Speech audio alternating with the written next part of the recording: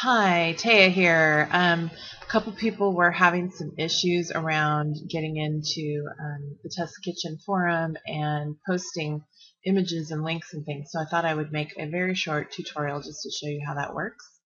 So the first thing that you want to do, um, obviously, is create a new topic.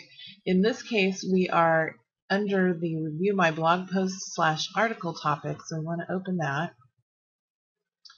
And once you've opened that, um, then you're going to want to create a new topic. And I have already done that because I wanted to try and speed this along just a little bit. And also was testing to make sure that everything was uh, working in good order.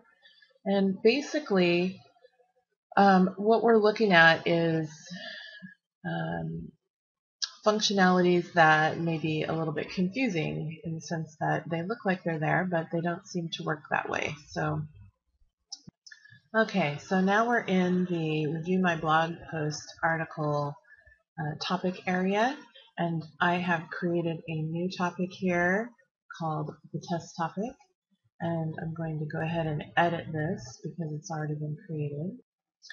Alright, so if I want to edit the post, then I need to actually open it, which I'm going to do here. And you'll see that I already have some content I was playing around just to make sure that it all worked just fine. Um, so I'm going to go ahead and click on, it's only going to let me delete this. Alright, we'll use this one over here.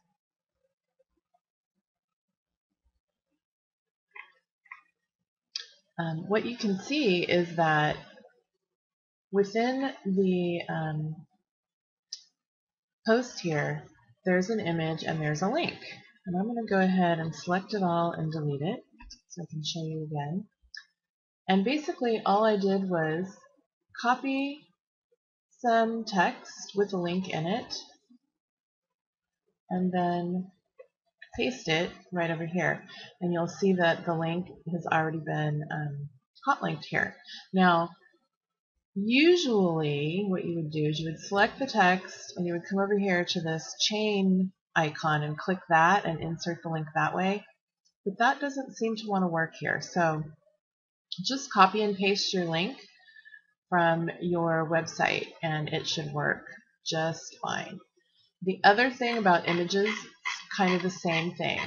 Um, you can't really upload an image to my website, but you can um, utilize a picture if you copy it and I'm just going to copy the image and put it right here, paste, and you can see it's there.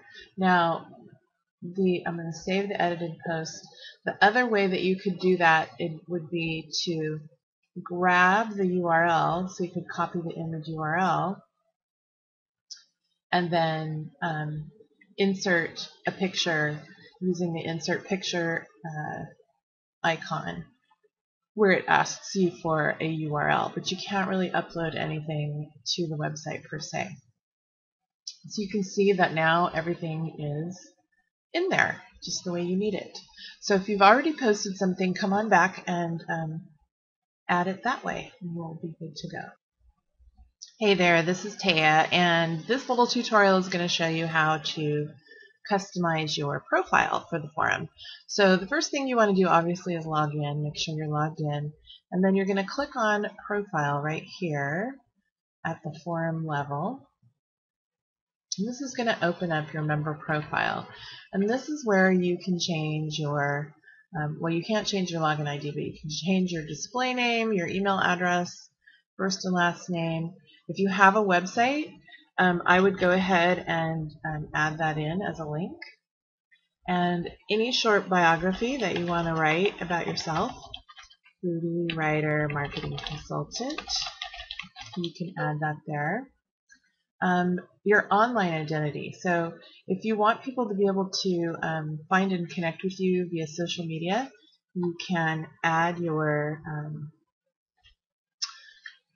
Facebook page, for instance, your Twitter handle, and you want to make sure that you use the full HTTP um, for each thing. Your personal options, how you want to display um, everything.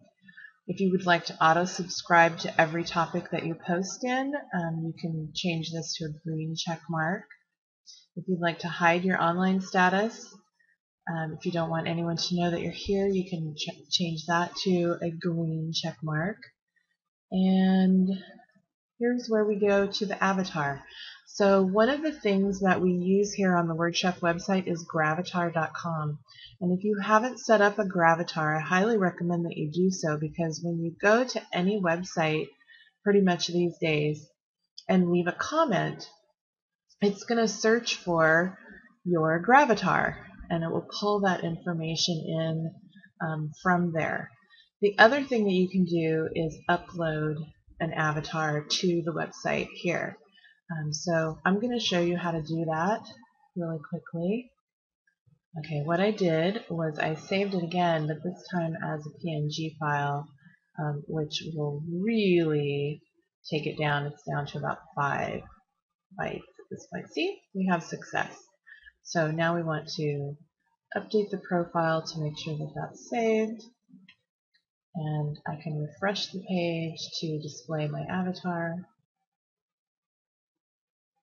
And now you can see my picture is here. So we want to make sure that you get that done. Um, you can set up your signature here. And one of the things I would do is, um, you know, use a tagline so people understand uh, what you do. Or if you have a giveaway or something that you want to point people to, um, type that in here as well. So I will type in helping you find and share your secret sauce with the world. And I'm going to hot link this. So the way that you need to do um, hyperlinks in the forum is the old fashioned way basically the icons up here that allow you to um, insert links are not working for some reason, but the HTML is. So if you click on HTML here, you can add HTML code on the back end, and this is probably something really good for you to learn. Basically, the HTML um, structure for adding a link is this right here. We want a bracket A href equals, your URL is going to go here. So that's where you would type whatever URL you wanted the link to go to. And then this is going to be the text that you want to hyperlink. So once you're done with that and you click update, you come back here and you see my website is hyperlinked to the site that I just linked it to. And that's how you have to do a link um, within the forum. The other way is to copy and paste a hyperlink that's already been hyperlinked. If you um, copy and paste the URL of something from like a Word document that's not been hyperlinked, it's not going to automatically change into a link. Unfortunately, that's just the way it is. Okay,